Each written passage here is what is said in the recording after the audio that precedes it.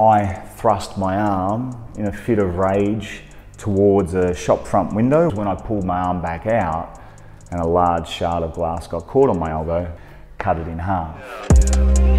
Welcome back to the Hustlers Podcast. Today we have a very special guest, our second guest on the podcast. We have Glenn Manton, former AFL player for Carlton and Essendon, turned author and public speaker. Wow, that's quite an introduction. I'm impressed with your research, but you missed a lot out too. An awful lot. Father of three, Father of three, bobsledder, Mm. media personality, media personality, bike rider, bike rider. because that's how I got here today. I rode a vintage Peugeot bike here in Lycra to be with you two That's hustlers. Hey, hustlers. I like it. Dedication. It is dedication. Don't you worry about that. Talk to me, gentlemen. We've got a limited amount of time. COVID virus is spreading between us as we speak. 1.5 meters. Well, we're not. We know we're not Yeah. 1.5. We're, we're, we're all right. We'll be 0.6. okay. We've all checked our temperatures. We're fine. Yes. Talk to me. Let's get into it. Hustlers podcast would suggest to me that the two of you are going to put me under the pump, hold me to the fire, Burn my We'll face. try, we will. That's that's the goal. Well, fucking get on with it. Okay. I'm gonna be honest. Glenn came to my school how long ago? Like three months ago or something? Yep. I have never seen one man make a whole classroom of 60 people, 60 VCAL kids, just cry. Well, that wasn't what we were, we weren't That- trying yeah, to make people cry, yeah. But that was an outcome on the day. People shared some real emotion, and Yeah. that's positive. That was uh honestly the best that you couldn't you couldn't bring one of my idol well, okay you couldn't bring like Who's your idol? have a what Oh, give me one idol. what Jazz, uh, you got one idol? possibly Steph Curry Steph Curry. Yeah. One idol. Ooh, I like Denzel Washington. Denzel Yeah. Washington. I like it. All right. Okay, that gives me a little bit more knowledge about both of you. they if I saw Steph Curry I'd be starstruck I'd be like oh shit Steph Curry but like I wouldn't he wouldn't tell me a story where I'd just fall out in tears you know You never know. you told me stories you asked that you engaged us in you're like what is your Most what's treasured possession? yes Yes. What was it again? mine was just memories Memories. Yeah. And yours? Most treasured possession. What would you say? Memories too, yeah. Memories too? Yeah. Well, hard to go past them, isn't it? And this will be a memory for us exactly and the audience, Yes. something we can all remember. yes Fire away. I want your first question. Just spit it out. why did you start with footy why footy Why did I start with football? yeah Wow. I spent probably, let's say, five hours a day in the backyard throwing a tennis ball against one of those things, a brick wall, just for hours and hours and hours and hours. And all I wanted to be was a wicket keeper for Yeah. Australia. That's all I wanted to do. I just wanted to play cricket, just wanted to be a wicket keeper. But unlike your good self, sir, I couldn't grow a mustache to be like my, at the time, cricketing idol. Rod Marsh had a big mustache, wasn't as cool as that. yeah And I thought, you know what? I'm not really getting anywhere with cricket. It's a little bit boring. I'm going to go and play baseball. And baseball for me was fantastic. And we were just talking off camera about a guy called Malcolm Gladwell. And he has shared a theory for many years that in order to be an expert at anything, you need to do 10,000 hours of practice. yeah mm-hmm. So 10,000 hours. Hello, sir. 10,000 hours of practice. It's always good to have external guests on your podcast. 10,000 hours of practice of any one thing making you an expert. Well, you wouldn't believe it. All those hours as a kid throwing that tennis ball against the wall meant that I was pretty much an expert at throwing balls. Yeah, yeah. So by the time I reached 15, 16, I had a lot of skill in that space, being cricket slash baseball. So I was really enjoying that journey into baseball. But unfortunately, a big issue arose for me, and that was I lost touch with myself. Yeah So I went from being a really gentle, uh, creative, thoughtful human being to a really arrogant, indifferent asshole. And that led me to cutting my right arm in half. So I cut my right arm completely in half. And if you look at my hand here, I'm not sure if we'll pick up on the film there on the camera, But on this particular hand, my right hand, I have no muscle left anymore. You'll see the definition in this hand, the muscle. I can't close my hand properly anymore. It's the best I can do, and I can't feel part of my hand and my arm anymore because of the damage to the nerves in my arm. Yeah. So I self sabotaged for no good reason. Yeah. I wasn't hit by my father or living in a uh, situation of poverty or uh, deprivation. I was just an indifferent, ordinary person for a short period of time. Cut my arm in half, had to rebuild my life, had to rebuild my brain, and part of the rebuild was to step away from baseball and concentrate on football. Yeah. And I never thought I'd even be able to play football. In fact, a story that I didn't tell you was that my father actually came to me when I was 17 after this had happened. Yeah. And he said to me, Your membership for the MCC, so the Melbourne Cricket Ground MCC, the member section, your membership's come through. What would you like to do about renewing it? Because it's a lot of money, it's hundreds of dollars. Yeah. I said, Dad, you know what? Give me that piece of paper. And I tore it up and I threw it in the bin. And he said to me, What are you doing?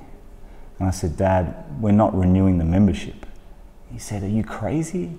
I said, No, not at all. He goes, I put your name down for that before you were born. So you'd be on the waiting list, so we'd get you a membership at the MCG. I said, That's fine, Dad. I said, Do you know that if I play over 200 games of AFL football, I get free tickets for the rest of my life anyway? Yeah. And my dad said, But you haven't. And he stopped. You- I know what he was about to say. He was about to say, You haven't even played one game. Yeah. But he stopped and he said, All right, I'll back you. And as history would now show, I was lucky enough to play over 200 games. So, free tickets for games for the rest of my life. Motivational as man. So sometimes you've got to back yourself. And in, in all seriousness, hustlers, what you're trying to do here, your podcast, one person, two, three, however many people listen and take this in, that's not your problem. Yeah. That's their problem. Yeah. That's their problem. If they can't enjoy even the first five minutes of our conversation here now, that's their problem. Yeah. Because this is real. Yeah, I agree. This is us. And this is two young people getting outside of their comfort zone, doing something special. I agree. I think that's super positive. Thank you. You're welcome. That's Let's- question one. Yes. Were you happy with the answer to question one? I Loved it. Loved Yeah, there we go. I All was right. debating for a second. Look at this. Do you want this man on camera? He loves a camera. Let's dive into 17 years old. Let's do it. What are we wearing? Budgie smugglers? Yeah? Dude, tell me honestly, you go to the pool, you go to a public pool, what sort of attire are you going to wear? I just wear shorts, that's it. Just short, footy shorts? nah, Nah, just, uh, just- swimming shorts, yeah. Yeah? Beach shorts. With a design or just yeah, plain colour? like just a few designs on it. Yeah, okay. What would you, you'd wear footy shorts, I reckon. For me, it starts off with footy shorts. Home or away? Whites? Look, I go, I go whites. I go. You're gonna my- go the white? I go my white Carlton. You're going to go white Carlton shorts? Oh, Yeah, but I wear my my skins, my Nike skins under. Underneath? Yeah, Phew. and then I've got my my Kobe Bryant All Star jersey. And you're going to wear that to the pool too? Yeah, Ah, it's a but I, but then like once I get that wet, then I'm like, alright, can't, I hate wearing a wet shirt, so I just take it off, throw it away. Abs out. start my swim. Like yeah, it. abs I out. like it. It's good. Sun's out, guns out. Sun's out, guns out. Question two. Your arm. My how, arm. How did it happen? How? Well, it happened when flesh met this. Yeah. That's, When flesh meets glass, unfortunately, it's not like the movies. You don't just burst through a window and roll into the next scene and everything's okay. There are shards of glass, you land on glass, glass cuts. Yeah. And so I thrust my arm in a fit of rage towards a shop front window, which, yeah, it's a very similar thickness, probably a little bit thicker to be honest than this glass here. Yeah. And I shattered the glass because the three of us could easily shatter this glass. Yeah. But for me, it wasn't a case of the shattering and pretending to be this big hero. It was when I pulled my arm back out and a large shard of glass got caught on my elbow Yeah. cut it in half. So, without sounding like a, a completely trite bastard, you do go from hero to zero. In a hurry. And that happens to people all day, every day, male, female, of varying ages. And it's a reflection on your ability to control your ego and control your thought process and control your environment. Yeah. There was no need for me to act the way I acted that particular night, other than me trying to fulfill my own ego because I was the one who had a problem with the world around me. I have to take responsibility for that. Yeah. At the time, I could see it coming, but I couldn't understand what was coming. Yeah. And I think any young person, young people who are watching this, and for that matter, anyone in general, has been in one of those situations where you think to yourself, you know what, I just got away with that, I just got away with that, I just got away with that. And when you start feeling that way about your performance, maybe it's schoolwork, maybe it's the way you're treating a, a family member, Yeah. sooner or later, it's going to hit you really, really hard. Yeah. And you will lose. And for me, that was a, a huge loss. And I was confronted by a doctor in the hospital whom I had never met before. I had never met this man. Yeah. And he stood at the foot of the bed. He looked me dead in the eye and he said to me in a thick English accent, You're a fake. You're a phony. You're a fraud. He said, It's going to take hours to put your arm back together. Your job is to lie there in that hospital bed and think about what sort of human being you wish to be. Hmm. Because I think you're an absolute joke. He then walked to the door. The nurse was drawing the curtain. He opened the door about six inches and he said, Do you see this doorknob? And I just nodded my head. Nodded my head. He said, I'll just let you know, you'll never even turn the knob of a door again. Six hours to put your arm back together, but you need to get your head together because I think you're a right joke. Nurse. She drew the curtain, he shut the door, and the 17 year old brat that I was was left alone in a hospital bed at would have been probably two or three in the morning, scratching my head, thinking about what I am going to have to do to rebuild my life. Yeah. Yeah. Mm. It's touching, yeah. It's crazy. And I made some decisions that night that changed my entire life. And unlike some people who make mistakes, I am very good at acknowledging the mistake, thinking through the mistake, and coming up with plan A, B, C, D, anything to move forward and be more successful. Yeah. Yeah. What's the best advice you've ever been given? The best advice I've ever been given. Yeah. I I don't seek advice. I've never asked for advice. I observe everyone all the time. That's good. So yeah. going to one person and saying, give me an answer, what's that? But if I walk out the front door and every day I'm looking, I'm wondering, I'm thinking, I'm creating, I'm looking to engage, then I've got a world of advice. And so for me, for example, and this is a big deal to me, if I walk through a door, I want to hold it open for the next person. Yeah. That's how I live my life. So if I'm out somewhere and I see somebody do that, I think "Mm, that's good. He or she did that. I've got to keep remembering to do that myself. Before I came here to be with you here today, I was at the running track training, and a gentleman brought two little children down to the running track, maybe five, five years of age, and he had them jumping into the long jump pit.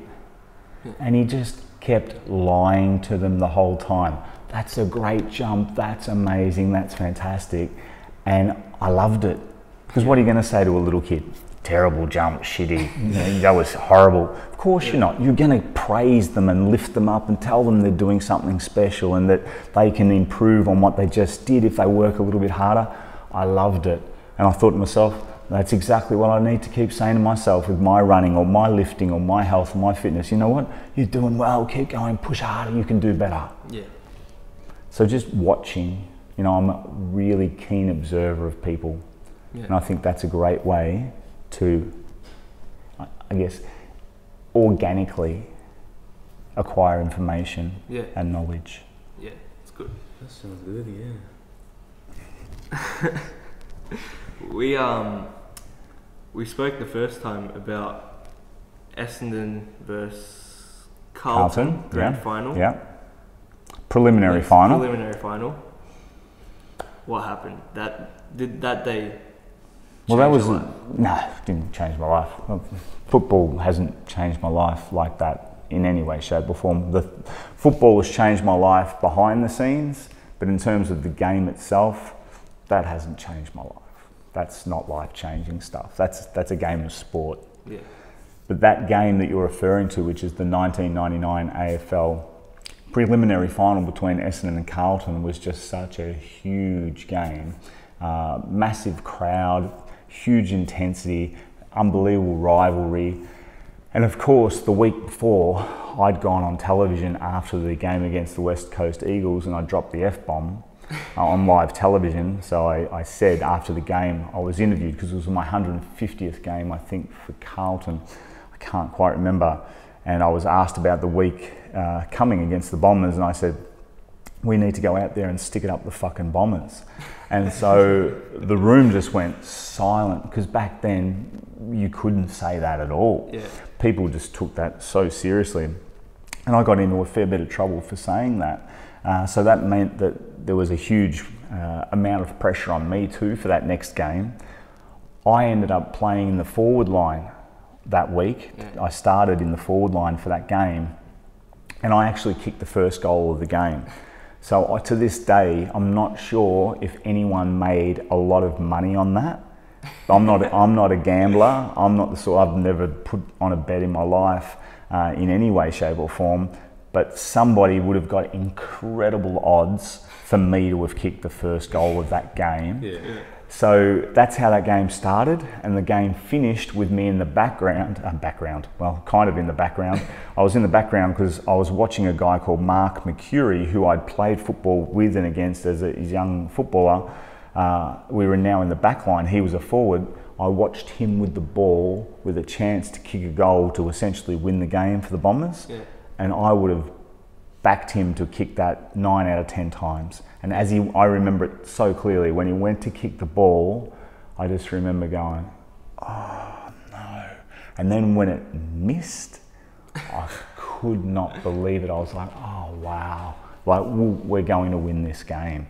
And so it, it was just an extraordinary game. It meant, meant a lot to a lot of people, uh, including myself. And it would probably go down as one of the, I would think, maybe the top five games ever played. Yeah. So to be out there and playing in a game like that and playing well is Yeah. a really cool thing to have on your personal resume, if you like. Yeah. But uh, a football for me is an extraordinary sport and it's played a huge part in my life, but I've never allowed football to be my life. Yeah. And I think that's a huge mistake that anyone can make, whether you're a plumber, a mechanic, a teacher, whatever it happens to be. If that's all you are, it's a very narrow life. Yeah. You know, yeah. life's to be lived broadly and enjoyed broadly. I agree. What does the word leadership mean to you? You think of it. What is what is the meaning for it to you? I, I, I think, in the context of what you're probably suggesting, I think it's a bullshit word because so many people are waiting for someone else to lead them and they haven't developed the ability to lead themselves. Yeah. So you need to be able to lead yourself and be your own leader long before you look for any leadership from anyone else. That's right. Yeah. Yeah. And in terms of somebody else leading you, well, then you need to have a strong understanding about who you are if you wish to lead other people. So we're all living, all of us are living in this COVID time, and it's been terrible Yeah. for all sorts of people for all sorts of reasons. But if I said to you both, gentlemen, you must go home, you must stay in your home for two weeks. Hmm. You're not allowed out, not for any reason. We'll deliver food to you. We will do this. We will do that. You wouldn't like it. I wouldn't like it. The audience wouldn't like it. But we could all at least go, right, I've been told there's some leadership, there's some structure, there are some boundaries. I know what I have to do, and I trust in this person, Yeah. the person telling me. In this day and age that we're living in, leadership, particularly political leadership, is so poor.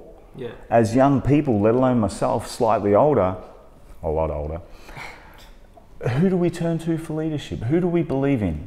Yeah. Scott Morrison? Does anyone watching this really believe in Scott Morrison? I mean, really believe in him. Yeah. Whereas he said, stay home for two weeks, do this. You, you wouldn't believe him Yeah. because he hasn't got any trust and investment in you as a person. It's not there anymore. So, your question about leadership is a good one. A, it has to come from the individual themselves. Yeah. B, we're living in a really troubled time where the people that we're looking at for real leadership aren't there. Yeah. You know, don't even get me started on Donald Trump. the guy is an absolute disgrace. Yeah. I agree. But think about this, and I say this to the camera and two of you very, very clearly and without any uh, grandstanding or trying to make this something more than what it was. Think about this. This is a man, Donald Trump, who said that he can grab women by their private parts. Yeah. And he is now president. Yeah. Now, that is a reflection, whether we like it or not, that's a reflection on all of us. All of us. Someone watching, well, I'm not from America, I'm not, I'm not in America. No, no, no, you're not, neither am I. Yeah. But we all need to take responsibility for promoting fools to positions of power. Yeah. And that's been done through social media, mismanagement and misinformation of media Yeah. and we all need to take responsibility for that. So my Instagram account, I've pulled it back, for example, to one post. There's never going to be another post on there, just one. Yeah. Because whether it's the two of you or the audience, I'm happy for you to contact me all day, every day. Contact me, send me a message, ask a question. Yeah. But you don't need to see about my new car. Yeah. You don't need to see what I ate for dinner. Yeah. If you want to come to my house and have dinner, get on the message, send me a direct message. Yeah. And that's not bullshit. That's for real. That is for real. I had a gentleman in my house this afternoon in my lounge room whom I met on Gumtree. Gumtree. He's in my lounge room, we're chatting, we're talking.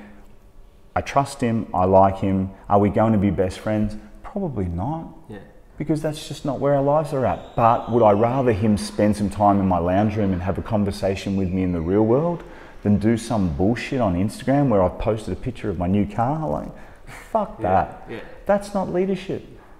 Yeah. That's not leadership. That's not developing any culture, any uh, human trait. That's just grandstanding and pumping up your own tires. It's a waste of time. So, what you're doing, this Hustlers podcast, it's a form of leadership. Hopefully, some other young people see it and say, you know what, I like what they're doing. I might get involved too. I might do my own podcast, or I might go and do this, or I might go and do that. So there are many scales of leadership and obviously uh, many levels in terms of who can participate. But if you're not participating every day as a leader, Yeah. we end up, as I said, voting in idiots like Donald Trump. Yeah. I agree. Yeah. Has this man got any Yeah. questions? You have any questions? I've been. I'll You've hogged all the of a break. I'll take a questions. bit of a All break. right, I got, I you one. What, what advice can you tell people to um, cope with all this coronavirus and all that, and the isolations? It's very, very difficult. It's a very, very tough question. I haven't worked since March the 16th. Yeah. And I've been very, very disappointed about that because I love what I do. I love who I work with in terms of young people. I love being able to share and help those people develop as human beings. I've got no way forward in terms of my work. I can't change the rules. I can't have 300, 400, 500 people in a room to suit my own ego. So, in these sorts of situations, and I've been in them many times, and I'm talking about situations of crisis, the number one thing you have to do is come back to zero. So I took myself back to zero, and that means that you're just sitting down and you're thinking, what's the landscape look like for me? I've got 24 hours in a day, and this is exactly what I do. I need to get eight hours sleep. Doesn't always work out that way, but I need to get eight hours sleep. Yeah. I need to eat well. I've got a choice. I sit at home eating junk food because I'm in coronavirus, or I keep eating well. Yeah. Okay, I'm going to eat well. I've got more time on my hands so I can train even a little bit more and a little bit more intensely than I was. Okay, sleep, eat, train. Okay, how are my relationships looking? First relationship is with myself. How am I feeling about myself? What do I need to do to make myself feel good each day? Yeah. How am I relating to my family, my friends? Who am I contacting? Why am I contacting them? Am I contacting them to have a sook or a whinge or a whine? Or am I contacting them to have a positive conversation? Yeah. Do I want to surround myself with those negative energies or positive energies? Now, don't get me wrong, I'm not talking about waving fish above my head and chanting 10 times. Yeah. I'm just talking about doing basic things very, very well. Yeah. And if you're doing those basic things very, very well, all of a sudden you're eight hours of sleep, you've done some training for the day, you've contacted some friends, you're pulling the time down that's free to a level which is more manageable rather than sitting there going, I'm bored, I can't do this, I'm going to eat this hamburger, I'm going to have these chips, whatever. You know, again, what you're doing here today, what your viewers and your listeners have a chance to do is work on the same theory. I've got some time here. How will I invest that time? Yeah. That's right, man. Yeah. And don't get me wrong, every day can't be some sort of perfect performance. Every day you can't invest it perfectly. But I still keep an old school diary. I'm not Yeah. sure if you do, but I like to open it up every day and I like to see, right, this is what I'm doing today, this is how I'm doing it. These are the things that I'm looking at in this next little period of time. Okay, that's next week. What I, so I can tell you this weekend, as an example of something that your, again, your viewership, your listenership mightn't be able to quite get their head around, but it's so important. This weekend, I need to really cut loose. Yeah. I need to have a weekend full of music. I need to have a weekend full of friends. Can I have 20 people at my house this weekend? No, I can't. Yeah. But I can invite a couple of friends around, you know, family, whoever it may be, have something nice to eat, listen to some music, all this sort of stuff, because you can't just keep trying to hit the red line all the time. You need to be able to back it off too. Yeah. Hmm. Maybe that means sitting and reading a book. Maybe that means sitting listening to a podcast. Hmm. But hustlers, hustlers can't hustle 24/7. If you Yeah. do, you just run out of energy and you start making dumb mistakes. Yeah. But if you, you get your hustle on, you work hard at something, then you pull back a little bit and say, I need a little bit of time for myself now. You got to balance it out. Yeah. Balance it out, absolutely. And that's such a key each and every day. And everyone balances things differently. For me, my balance comes through my fitness, Yeah. my music, and my writing. Hmm. They're the three areas that I use to balance my life. The most important one for me is, is probably my fitness. Probably, I say probably because it's neck and neck with music. My writing is probably the next tier down. Without music, without fitness, I don't know where I'd be. I'd probably be dead. Yeah. Who's your favorite? Who's your go-to artist to listen to? What's your go-to music? Wow, my personal playlist has probably close to 750 hand-picked tracks, uh, tracks that mean a lot to me. Yeah. Uh, there's everything on there from, in fact, I can, I can tell you because I remember I downloaded it yesterday and added it to um, my playlist. Some old Snoop Dogg. Yeah. So I, I love old school hip hop, Yeah. Yeah. but I also love electronic music, which is really, really weird because during the 90s when electronic music really started to get a stronghold, I really pushed away from it very hard Yeah. And concentrated on other forms of music and artists that I grew up listening to, things like the Red Hot Chili Peppers, this sort of stuff. Uh, but in the last maybe 10 years, I've really turned back to electronic music, and there's some tracks that I just love listening to. Um, I'll, I'll love listening to them uh, doing the dishes, quite sincerely. Like I'll. I'll have the I'll have the stereo absolutely cranking, Yeah. listening to this music, and it's a really nice thing to understand that you actually you actually love something. Yeah. It actually means something to you greatly, and for me, that's that's a really beautiful feeling because it gives you a, a sense of, I guess, solidity in your head that this is something worth pursuing for me. Yeah. So there are many things in my life, and I'm sure yours, that you think you like or you think you're passionate about, but then when they're not there, you're like, so what? Didn't, didn't really matter. I wasn't really that into that.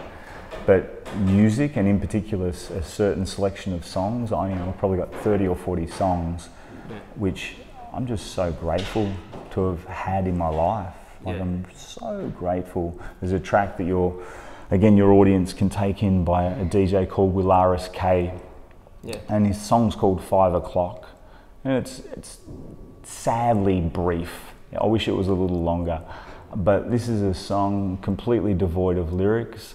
But the emotion that that song builds in me Mm. is just unbelievable.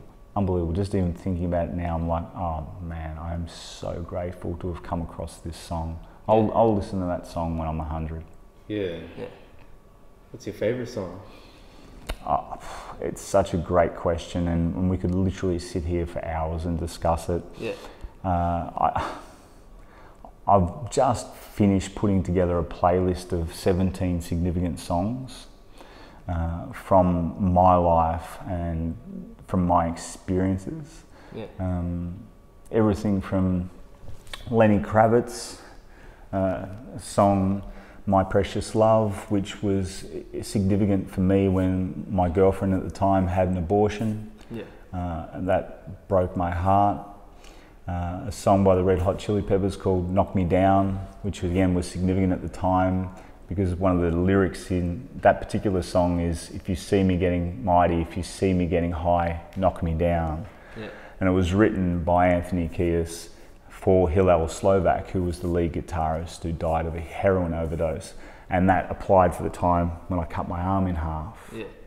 Uh, right at the moment, I've been actually listening to a fair bit of Public Enemy Yeah. and Fight the Power, which is an incredible song from the soundtrack It of is, yeah. Spike Lee's movie Do the Right Thing. I remember being probably 16, I think it was released in 1989, that movie. I remember going to see that movie and feeling so uh, violently uh, focused on wanting to see uh, racial equality.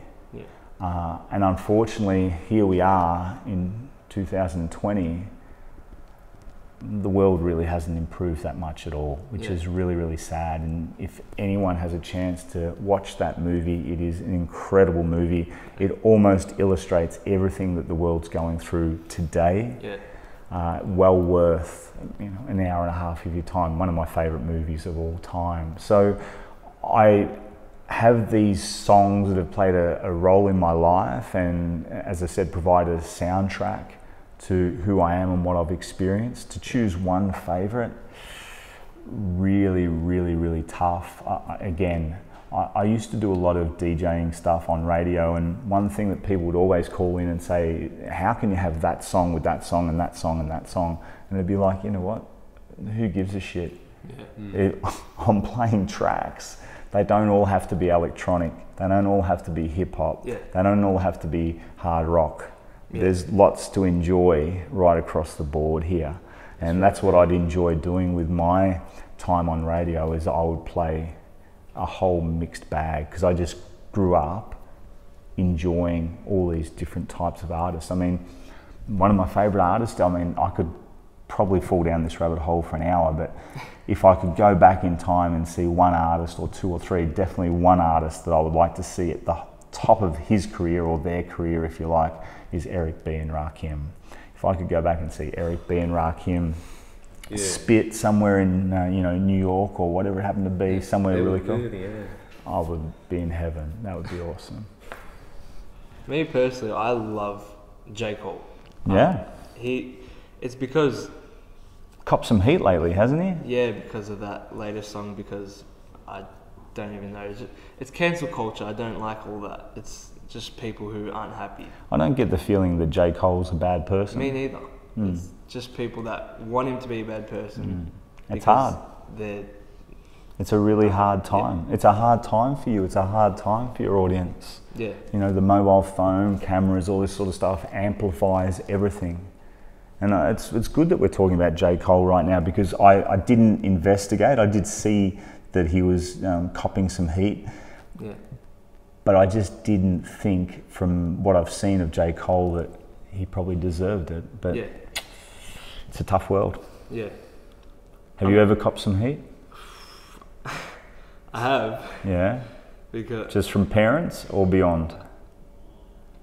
beyond, but like not beyond, beyond like cops heat, like that heat, like We're not going to have to run away, No, save no, no. ourselves now, are we? We are in Footscray. I, uh, my parents went away one night, and then I was like to him, I was like, should I just have a party at my house? Of course you- of course you do. Yeah. So then, um, and this was like I had like three hours preparing time. It was from five o'clock. I said I called him. I'm like, come to my house. I'm gonna invite people.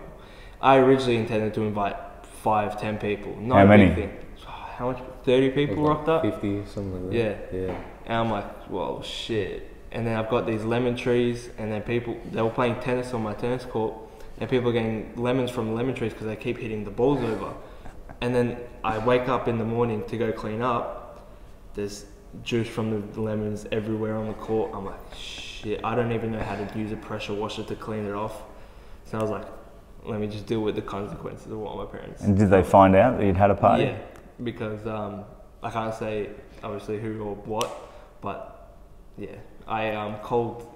How much? I ordered eight pizzas and three garlic breads that night, and then Don't forget the garlic breads. yeah, and then two hours, no, no, two minutes later, um, I get a call, and I thought it was the pizza place. I'm like, the pizzas are here already, and they're like, what pizzas? I'm like, the eight pizzas and three garlic breads, and my mom's like, you ordered eight pizzas and three garlic breads. I'm like, oh. Big trouble. yeah. Ooh, you sold yourself out. Yeah, I sold Whoops. myself out. Look out.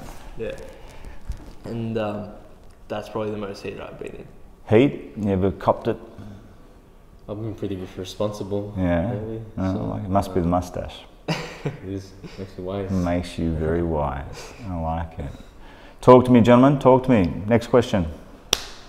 Alec Epis, Mm-hmm. what does he mean to you? How does how has he affected you in any way? Well, he's, affect, he's affected me in every way. So this is a man that I met at random at the 1993 AFL Grand Final. Long story short, he said to me to give him a call, and uh, remember this is at random. Never met this person before. Give him a call if I wanted to be a better footballer and a better person. I ended up calling him. He told me that the first Wednesday after that grand final, so Saturday AFL grand final, first Wednesday to meet at the bottom of Park Street, Clorinda Reserve at 7 a.m. Moonee Ponds, that is. I turn up at 7.15. I walk into the park with swag. Swag hadn't even been invented.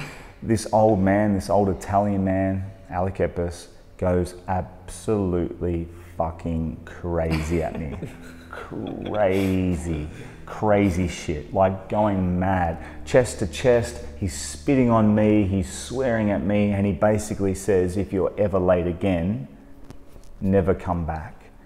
Yeah. And I can promise you and your viewers and your listeners that I thought to myself, I never want to go back. this guy's fucking crazy. I don't want to go back. He's nuts. He's not a good person. He's a lunatic. He's not the sort of person I want to associate with. Yes, I was late, but man, you didn't have to react like that. It was crazy shit. Yeah. Anyway, he trained me for two hours, and at the end of that two hours, I basically couldn't walk. So it was football training for two hours, and I dragged myself back to my car, and I promised myself I would never spend another second with this man. Yeah. But as it turns out, I went back the week after. And I went back the week after that, and the week after that. In fact, I ended up going back every Wednesday morning to meet this man at the bottom of Park Street, Clorinda Reserve. It's called Clorinda Park actually now, Moonee Ponds, at 7 a.m. for the next nine years. Yeah. Nine years we met there every Wednesday morning. And he taught me to be a better footballer, he taught me to be a better person, and he essentially became my second father. Yeah. So he's turning 83 later this year. Uh, I love him as much as I could possibly love any human being. Oh, that's a lie. I might just love my children a little bit more. Yeah. You maybe have a little bit more extra love for your children, but he's been such an incredible part of my life that I do have that extraordinary amount of love for him as a person. Yeah. And he has listened to me, he's never put me down, he's always supported me. He's told me tough things, Yeah. He hasn't told me everything that I wanted to hear. He hasn't told me that I'm right. But he's been very fair and honest and supportive and loving and caring in his own way. He's, he's pretty tough. Yeah. But that's okay. But the funny thing about what he has done for me in terms of football and in terms of life is that my experience with him, when coupled with my degrees, when coupled with my experience on stage, when coupled with my media background, has allowed me to work with young people Yeah. in a more cohesive and productive manner. So he has given me skills which I've been able to use in my own style, in my own way with young people. So he has helped enormously in terms of what you would see of my life, but behind the scenes, Yeah. a bit like that iceberg, iceberg theory, you're only seeing 10% of it. The other 90%, that's where he's done an Yeah. enormous amount of work. So I would be lost without him, and it was only only about three months ago that he was in intensive care. He was in intensive care for a number of weeks. I thought he was going to die, and uh, he managed to pull through. Goodness me, I have no idea how he pulled through. I really don't. On my phone, I have a picture of me holding his hand one night where I kissed him and, and said goodbye. He was basically in a coma, and uh, I thought, this is it. But Yeah. then the next day and the day after that and the day after that and so forth, he just kept getting better. So he's a really stubborn old bastard Yeah. and he's a really incredible human being. He's doing good now. He's doing better. I mean, as I said, he's turning 83. He's gone through an awful lot. Yeah. So it's it's a bit like you, you run a marathon. You don't just get ready to run another marathon. Yeah. You're going to need Yeah. time to recover and build yourself up again Yeah. uh, before you're allowed to, I guess, even think about running a marathon. So he is he's right back at the starters blocks. Yeah. He's he's probably not going to run another marathon, but knowing him, he'll try to run at least a hundred meter sprint. Yeah. Do you think that tough love works? It does when it's sincere. Yeah, when it's sincere. If if you know that I love you and that I care for you and what I'm saying is directed at making you better, it has actually nothing to do with me. It's not about my ego. Then I think definitely some tough love works. Do you need to be tough and aggressive and uh, demanding of someone all the time to get the best out of them? No, not at all.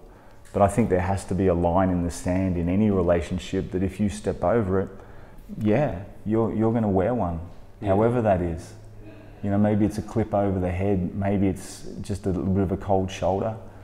I, I have unbelievable relationships with young people right across this country and, and beyond, but if anyone wants to take me for granted and not show me respect or disrespect themselves, I'm out. Yeah. I haven't got time for that bullshit. Yeah. You know, I'm here with you two today, investing my time in you. Yeah. You've been nothing but polite, respectful, caring, etc., etc. I'm happy to be here. Yeah. You, you spoke. You actually said how much. How much do I need to get paid for today? Yeah. You know, like what the fuck? I there's no money. This this is not about money. Yeah. Like you, you give me a hundred dollars, a thousand dollars, ten thousand dollars to be here today. What what's that? This is about seeing two young people and someone who couldn't be here because of sack drama. Yeah. So your third hustler couldn't be here. but seeing some young people trying to do something positive. So why do I need to capitalize on that? I don't need to capitalize on that. I need to help these two young people move forward. And if this can help in some small way or shape, then that's a positive. But to, to think you're going to take some money uh, to do this sort of thing, Alec Epis never took one cent. Not one cent. Mm. Yeah.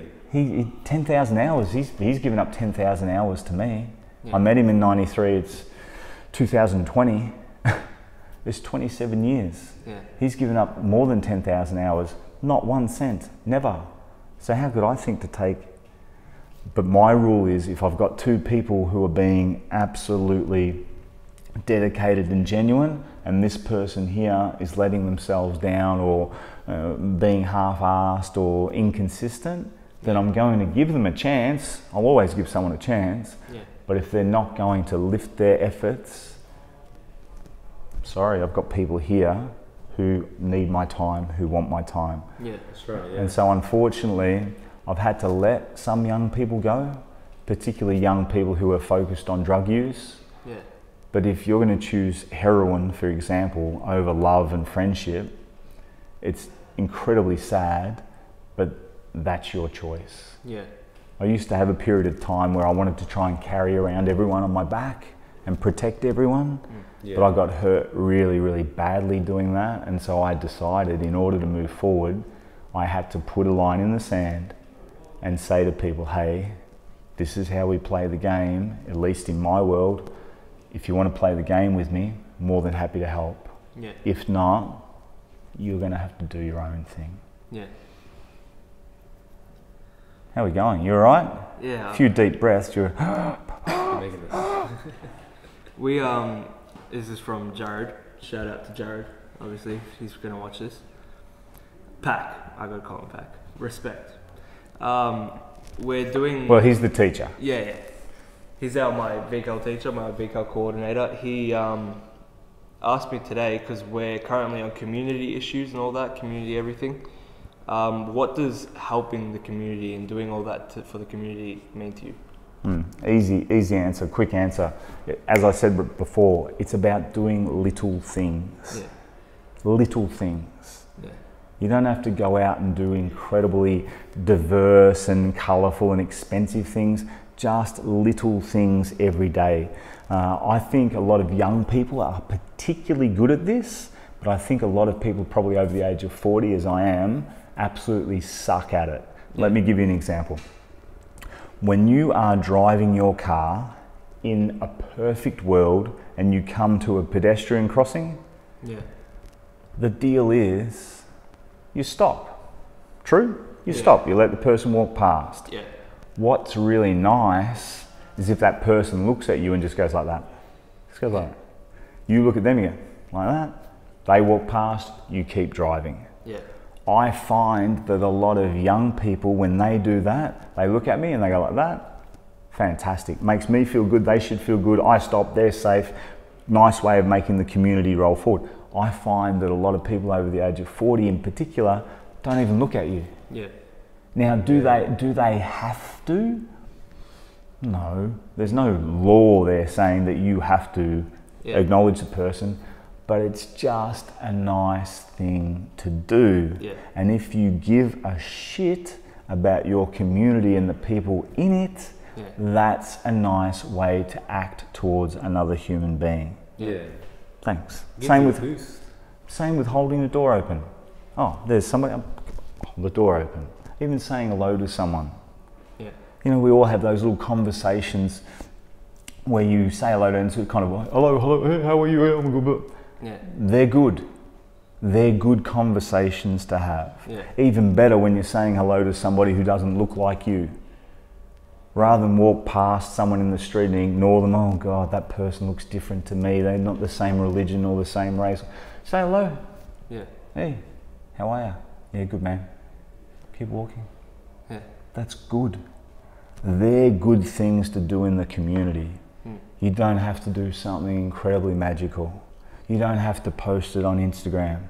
yeah, I must admit, I've got some messages, DMs of late saying, Why aren't you talking about this? Why aren't you doing this? And I just write back saying, Listen, you don't have a fucking clue what I'm doing. yeah, You have no idea. I could go out and pick up rubbish for five hours and put it in my car and go and dispose of it at the tip and make my whole end of my street cleaner and better. Do I need to put that on Instagram? No. Do I need to go, yeah, look what I did? Not at all. Like bushfires, COVID, you know, Black Lives Matter, all these things, they're, they're all very, very important. yeah, But don't think, don't think that you have to do something incredibly dramatic with money yeah, or clout. Look what I'm doing. It's just about your time. mm. So you think about the bushfires, it seems like a lifetime ago, doesn't it? yeah, Yeah. ages. But it's only a few months. Mm. So what happens once we can really start traveling freely? Instead of you donating $500 and all this sort of stuff, uh, you know, three or four months ago to bush, you might decide to travel into that community in a month or so Mm. and go and have dinner at the local restaurant, stay at the local hotel. And all that money goes into the community to the people who need it. Yeah. Think about this COVID times. You might know old Mrs. Smith or Mr. Brown down the street. You might go and knock on the door. Can I go to the supermarket for you? Can I bring you some milk? Can I get you a paper? And don't even start me on Black Lives Matter Yeah. Because this is a conversation we shouldn't even be having. We should all already appreciate the importance of equality for everyone. Yeah. But if you're walking past someone in the street who's different to you and you can't even make eye contact and say hello, well, maybe you need to step out of your comfort zone and say hello. Yeah. Just at the running track today, and, you, and again, anyone watching this can contact me. You can spend a day with me. I don't care. You're always welcome. You won't be intruding. At the running track today, to um, I, I know they're Muslim for sure, but I'm not sure where they're from. I think they might be from uh, the Middle East. I'm not entirely sure, but two Muslim people have been working their uh, fitness and health around the running track in Newport where I train. And every time I see them, including today, I make a point of saying hello to them Yeah. just so they feel comfortable. Because, you know, here's this weird dude. Maybe I look really weird to them. I don't know. Yeah. But we've seen each other now three or four times. And today, when they see me, they smile. Yeah. So, about changing community, little consistent positive actions. And again, this is where our leadership falls down because it's all about some money or some power. Just do things because you care enough to do them. Yeah. I agree. You. So- You want to talk? Oh, no, you? No, you want to ask a question? I've asked heaps. You go. Come on, hustlers. What have you got for me? question, but it- I went blank. Um, what do you regret the most in your football career? In my football career, not a lot. Not a lot. Nah, nah. I don't. In my football career, nah, nothing. I don't regret anything. Do you have any regrets in? Oh, I've, Outside of it? I've got a shitload of regrets outside of football.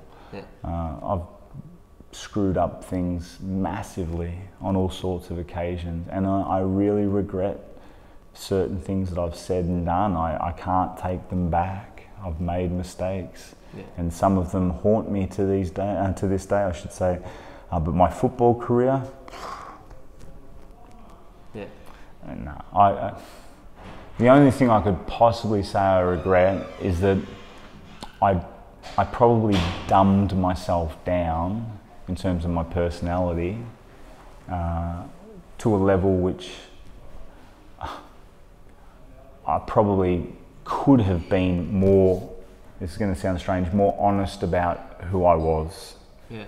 But we're talking about a space, AFL football, which is so rigid, especially when I played, and so conservative, that they struggled with who I was already. Yeah. Yeah. So if I had have turned up with all of this, which is me, Yeah. I probably wouldn't have even got a game. So it's, it's, it's challenging, particularly for those people who are around us who have multiple skills in multiple spaces, and it's just not a straight line for them. They don't necessarily fit inside any box, and I'm that sort of person. Yeah. So again, maybe to bring us full circle here back to our music conversation, I remember clearly, and I do have this piece of paper at home, and you two and many of the people enjoying this podcast would have probably come across this phenomenon too. The classic one pager when you're applying for a team or maybe you're going to a certain space, a class, a club, and they ask you to fill out a profile Yeah. piece. And I remember I was given one of these profile pieces when I was a junior pla looking to play for Victoria. Name, age, blah, blah, blah, favourite food. And then it had a small little box for music. Yeah. I filled that box and then I filled the back of the piece of paper with bands that I was listening to, all sorts of bands. Dead Kennedys, Sex Pistols, Dead Milkmen, all these sorts of wild bands that I was listening to back then. Yeah. And I remember a lot of my teammates, because this was something that was photocopied and handed out to everyone, a lot of my teammates were like, "Oh man, who the hell are you? Like, who listens to this? Everyone's listening to just Jimmy Barnes and Roxette and you know Duran Duran, and I'm listening to all these wild things. Duran Duran, one of my favourites, mind you. I'm listening to all these things, and so you know that the powers that be, especially in those spaces, are so conservative that they look upon that and they're like, "Who's this person? Yeah. We need to make sure that they are kept in line." Yeah. And I mean, you are a perfect example. You know, the beanie, the mo, the bracelet, all this sort of stuff. I couldn't give a shit. I, I see you, you know, even yourself. You, you know, you got the off whites and all this sort of stuff. I don't care. I'm not looking at that. Yeah. It's not what I'm engaging with. Yeah, don't get me wrong. I'm I'm attracted to that. I, under, I understand what you're wearing and how you're wearing it, and you know, you look great Yeah. but I'm not attracted to that part of your person in a way to say, you know what, I need to push them down to make myself feel safe. Yeah. I'm Yeah. not interested in that. I want to see more. I want to see who you are. Yeah. I I don't want to push you down to make myself feel like I'm the boss and I'm in charge. But unfortunately, with the world that we live in, and particularly sports, it seems like it's very free and it's very easy. Sometimes you just have to know how far you can go. Yeah. Yeah. And let's be honest, again, going back to an earlier conversation we had, me dropping the F bomb in a moment after a game of sport when a microphone's thrust in your face, not really the end of the world. Yeah. Especially when there's literature and movies and everything else, television programs on every night of the week with poor language, deliberately poor language. Yeah. But it's a conservative space. So for me today, I've been more uh, liberal with my language. Yeah. I've spoken how I like to speak, but if I speak at a school, I can't really speak this way. Yeah. It's Yeah. a shame because you two can tell me otherwise, your audience can tell me otherwise. I feel like the way I've spoken today to you here is how people speak in the real world. I agree, and That's right. that's yeah. what I want. But unfortunately, sometimes the real world can't cope with the truth. Yeah. Yeah, So, true, yeah. I, I'm not going to show you now, but I just got this huge tattoos done on my stomach yesterday. Yeah. If I had have done that when I was playing AFL football, they would have fallen off their perch. They would have freaked out. Yeah. But really, whose business is that? It's mine. Yeah. It's my business. If I want to go and tattoo my stomach, that's my choice. It doesn't affect the way I play football. Yeah. That's right. Yeah. So, unfortunately, again, a lot of young people are unprepared for the systems and the mechanisms of the real world. Yeah. And there are certainly systems and mechanisms. So, speaking of tattoos, Mhm. you got a lot. Which one? What was your first tattoo ever that you ever? My first tattoos were on my feet. Yeah. I had a dream that I got my feet tattooed, and I thought if I keep having this dream, I'll go and get my feet tattooed. And so I got my feet tattooed, and from there, I mean, you can probably I'm just pulling on the microphone, but you can see this massive. I've got a massive fox here and, and two Yeah. Oni masks on my stomach now, um, which I just got tattooed not yesterday, the day before, so less than 48 hours ago. Uh, I never thought I'd get tattooed. I really didn't. I didn't grow up with a, a father, or for that matter, a mother who was tattooed. Yeah. I didn't think at any stage that I would be. Well, goodness me, my maths isn't good, but you know, I'm probably running it. I must be running at about 60, 70% of my body now tattooed. Yeah. That's a lot. I would never have thought that would be the case. I would never have thought that my own children have tattoos. Yeah. So my middle son, my eldest son got a tattoo for his birthday, his 18th. My middle son got a huge big chest piece tattoo for his 18th birthday. So I never thought I'd have tattoos. I never thought I'd be a parent taking my kid to go and get tattoos. But Yeah. Yeah. you've just got to be who you are and, and be happy with that. What's your favorite tattoo? tattoo. I, I think this big fox on my chest, fox has played a, a huge part in my life, and this piece, I can't wait till it's finished. So I think we made a date in July to continue that. Yeah. But uh, the recent tattoo session of these Oni masks, it's quite an extraordinary experience for those people who haven't been tattooed. If you're getting tattooed properly, and I say properly in the sense that it's not just something that you're doing to fill in time, it's, doing, it's something that means a lot to you. And all of my tattoos are very, very important to me. But when you're really engaged with that space, for me, it was two hours of just zoning out and believe it or not, enjoying the pain. Yeah. It sounds strange, but just to enjoy that pain and appreciate it for what it is. Uh, getting a tattoo isn't a walk in the park. Yeah. It can be dramatically painful at times, but it's funny. Like I really concentrated on my breath and Yeah. being relaxed and just enjoying, as I said, the experience. And before you know it, you know, all of a sudden you've got your stomach tattooed. That's right, man. I got a question. Um, Go for it. You say like you gotta find out who you are. How do, how do you find out your identity? Number one, you've got to want to. You've actually got to want to. You actually have to give a shit to think, you know what? One of the most important things I can do is figure out who I am. Now, I don't know about either of you, but I can't think of too many more important things. Mm. So, if you want to figure out who you are by drinking a six pack of beer, you're going to fail. Mm. If you want to figure out who you are by smoking a bong, you're going to fail. Mm. By trying to get a lot of money, you're going to fail. It's all just failure unless you've got the ability to figure out who you are in a quiet room, on your own, especially when the shits hit the fan. Mm. Who am I? What am I going to do? How am I going to move forward? What do I want to be remembered for? What do I want to be known for?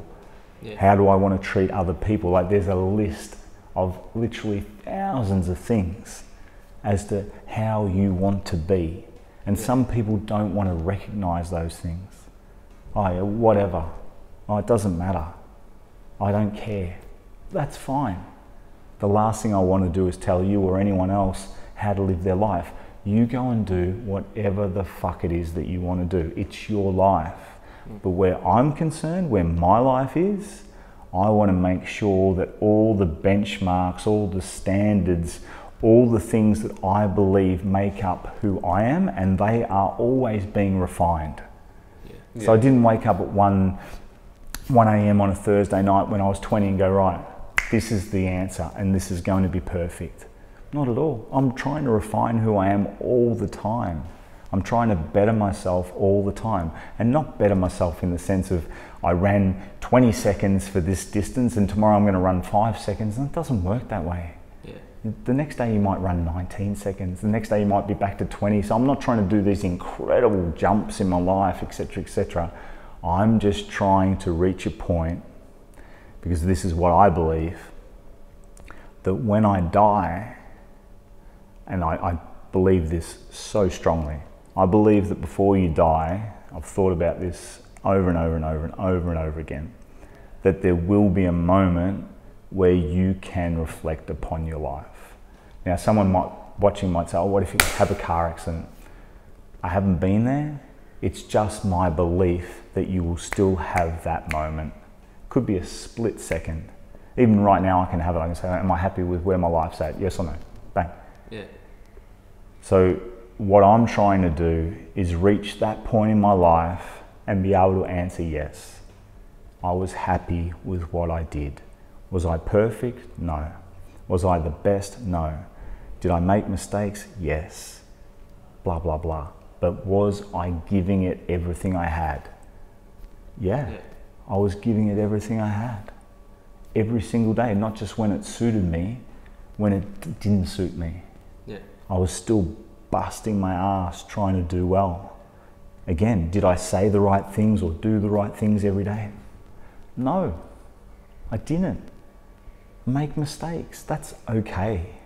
But I need to look at who I am and these mistakes that I'm making. And, you know, if you two came over and I cooked you dinner and I screwed up the dinner, that's not something that I'm going to fall in the corner and cry about. I'm going to be embarrassed. I'm going to be disappointed. I'm sorry I didn't cook you a very good dinner.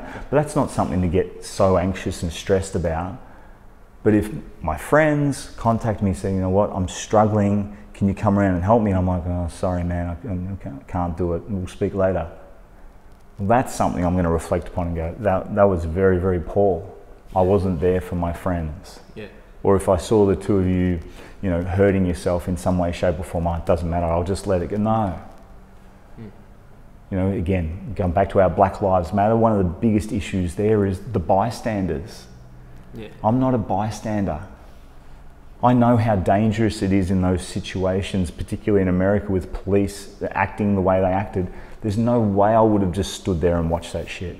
Mm. No way. I don't care if it's a black man, an Asian man, you know, whatever it happens to be. I, I would have been involved in a more dramatic fashion. Yeah. But again, in this day and age, you have to continually fight for that decision as to whether you want to actually take action or not. Yeah. And I can't think of anything more important to take action about than who you are. Mm. I must know who I am. That's good. That's Good. I'm glad you've Amazing. given that like stamp that. of approval. I like that. That's good. I like that. Yeah. Now, let me give you the bad news. The bad news is that in my mind, and we've got our camo over there, mm. I reckon we're at over an hour, aren't we? We're about an hour and five. Hour and five. All right?